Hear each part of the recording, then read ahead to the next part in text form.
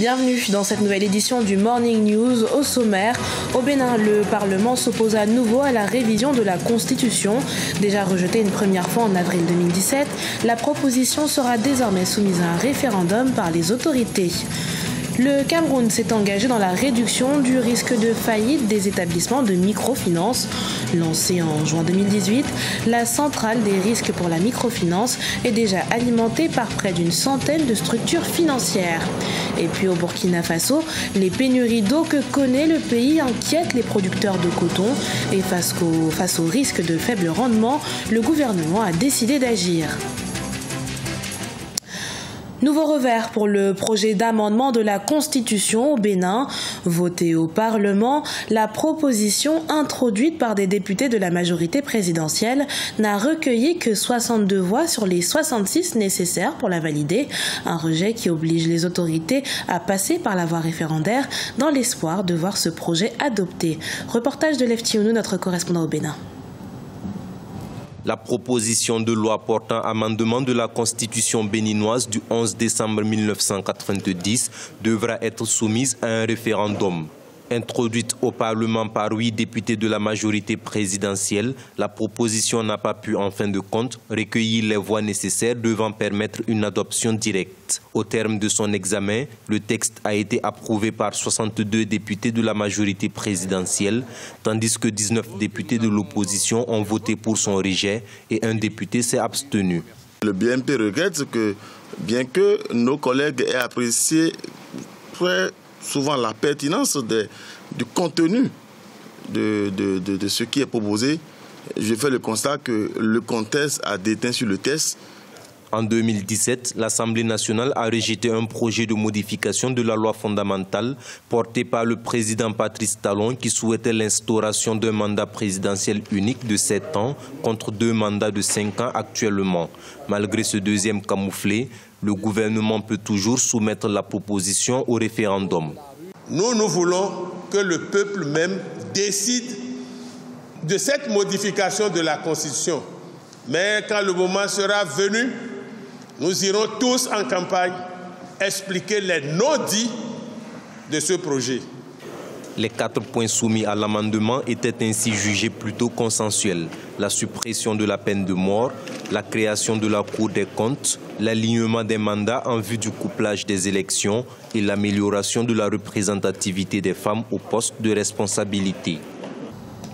Fonctionnelle depuis le 21 juin dernier au Cameroun, la centrale des risques pour les établissements de microfinance est d'ores et déjà alimentée par 98 structures financières.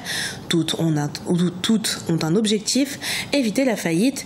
Et c'est tout l'objectif de cette plateforme qui ambitionne de mieux apprécier la capacité des emprunteurs à rembourser leurs dettes. Les détails avec Corinne Kamseux.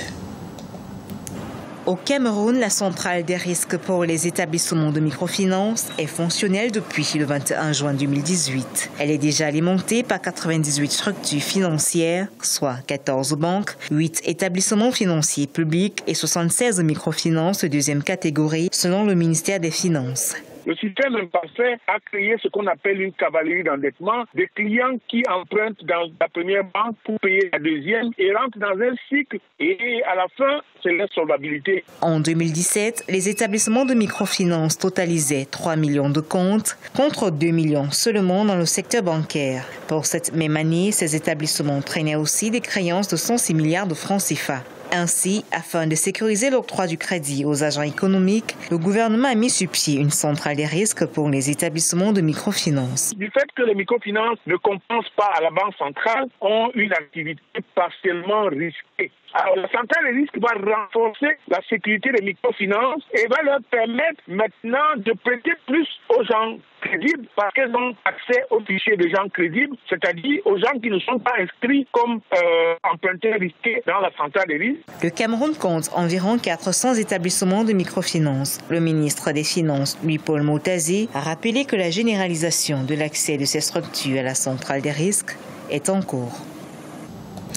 Au Nigeria, le milliardaire Aliko Dangote se lance à la conquête du pétrole. L'homme le plus fortuné du continent a en effet décaissé 10 milliards de dollars pour financer une raffinerie de pétrole. Raffinerie qui, à l'issue de sa construction, représentera la moitié des actifs de son conglomérat d'ici 2019. Les précisions avec Cheikh Omar Bandaogo. À terme, cette raffinerie représentera la moitié des actifs du conglomérat du Nigérien Aliko Dangote. L'homme le plus riche d'Afrique a bâti sa fortune sur le ciment, bien que son vaste empire commercial englobe aussi la meunerie, l'agriculture et l'immobilier. À travers la construction de cette raffinerie qui prendra fin en décembre 2019, il entend résoudre les problèmes récurrents du marché énergétique du Nigeria. Sa mise en service est prévue pour 2020. La raffinerie est également unique en raison de la chaîne d'approvisionnement. Nous voulons vraiment être indépendants de tout type d'approvisionnement de brut. La raffinerie est conçue pour gérer tout le brut africain, une partie du pétrole brut du Moyen-Orient et le pétrole brut américain. La raffinerie de Dangote sera en mesure de traiter différentes qualités de pétrole brut, y compris l'huile de schiste. Avec une capacité de production de 650 000 tonnes, elle devrait être la plus grande raffinerie de pétrole au monde et cible également les marchés d'exportation. Notre cible principale est bien sûr le Nigeria, mais notre capacité est si importante que nous pouvons exporter plus de 50% de notre production vers l'extérieur. Le projet est évalué à 10 milliards de dollars. La société emprunte 3,3 milliards de dollars et le reste est financé par capitaux propres et par des agences d'exportation. Le groupe Dangote a déjà acquis deux gisements pétroliers au Nigeria auprès du groupe anglo-néerlandais Shell pour l'approvisionnement de sa raffinerie. Au Burkina Faso, la filière coton est confrontée à une pénurie d'eau, ce qui inquiète fortement les producteurs. Après avoir perdu son rang de premier producteur de coton d'Afrique, l'État burkinabé a accordé 14 milliards de francs CFA pour permettre aux acteurs de la filière de stabiliser leur rendement. Aïssa Toubari.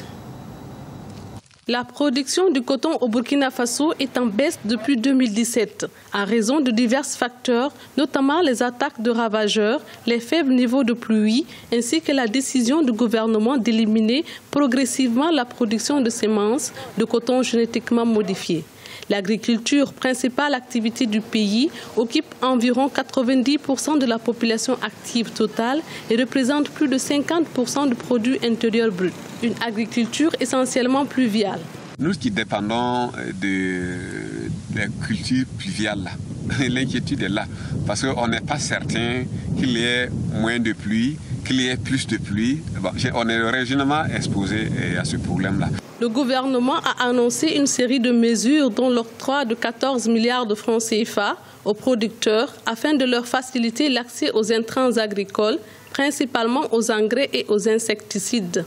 La mise en place d'une assurance agricole qui protégerait les agriculteurs contre les catastrophes naturelles comme la sécheresse ou le faible niveau de pluie. On compte euh, seulement sur la période de saison des pluies pour la production agricole. Voilà. Et si on a des sécheresses euh, prolongées sur ces trois ou quatre mois de la saison des pluies, effectivement, ça joue beaucoup sur la, la productivité agricole. Le Burkina Faso prévoit une production record de 836 000 tonnes à la fin de la saison 2018-2019, en hausse par rapport aux 563 000 tonnes pour la saison précédente. Ce journal a été préparé par l'ensemble de la rédaction. Merci pour votre fidélité. Dans un instant, une nouvelle édition de l'information sur Africa 24.